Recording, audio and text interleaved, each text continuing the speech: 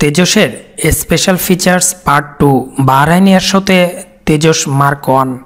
বন্ধুরা, গত পোস্টে আমরা তেজসের কিছু স্পেশাল ফিচার্স বডি এবং ডিজিটাল এফবিডাব্লিউ কন্ট্রোল সিস্টেম নিয়ে আলোচনা করেছিলাম, যেগুলির কারণে Tejas four plus four point five generation ক্যাটাগরির ফাইটার জেট কিন্তু এইসব কারণও পর্যাপ্ত নয়।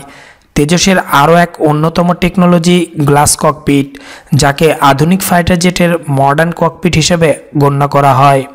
তেজসের ককপিট এইচ ইউডি ভিউ এর অত্যাধুনিক মাল্টিফাংশন ডিসপ্লে এমএফডিএস ও head up display H UD দ্বারা পুরনো চিরাচরিত round dialed electro mechanical instrument যা মিক টোয়েন্টি ওয়ানে ব্যবহার করা হতো এবং এটি ছিল খুবই ক্রিটিক্যাল টেকনোলজি রিপ্লেস করা হয়েছে।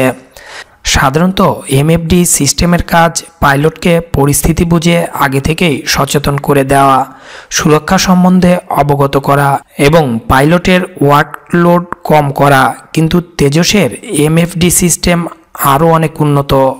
Active matrix liquid crystal display AM LCDs system যুক্ত, যা পাইলটকে সব রকমে ইনফরমেশন দেয় যেসব পাইলটের দরকার, যেমন টেক অফ সম্পর্কে নেভিগেশন ও লোকেশন সম্বন্ধে অপারেশনাল মিশনে পারফর্ম সম্বন্ধে ওয়েপন্স ডেলিভারি সম্বন্ধে, শত্রু থ্রেটস সম্বন্ধে বেজে ফিরে আসা এবং ল্যান্ডিং সম্পর্কে, এছাড়াও আরও অনেক ব্যাপারে পাইলটকে অবগত করে। এর এইচইউডি সিস্টেম ফাইটার জেটের ল্যান্ডিংয়ের সময় খুবই গুরুত্বপূর্ণ ভূমিকা পালন করে। এই এইচইউডি হলো একটি স্বচ্ছ ট্রান্সফান্ড ফাইবার ডিসপ্লে এক পাশ থেকে আরেক পাশ দেখা যায়, যেখানে ক্রিটিক্যাল ফ্লাইট ডাটা শো করে, যার কারণে ক্রিটিক্যাল সময়ে পাইলটকে নিচের ককপিটের দিকে তাকাতে হয় না।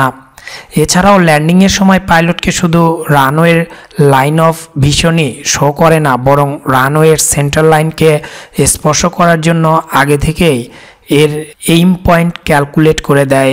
আর এই ক্যাপাবিলিটি পাইলটকে সেফ ও অ্যাকুরেট ল্যান্ডিংয়ে সহায়তা করে।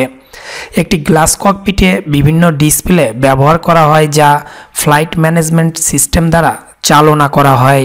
যেখানে প্রয়োজন অনুযায়ী ডিসপ্লেকে অ্যাডজাস্ট করে ফ্লাইট ইনফরমেশন সংগ্রহ করা হয়। আর এই glass cockpit night vision goggles যুক্ত।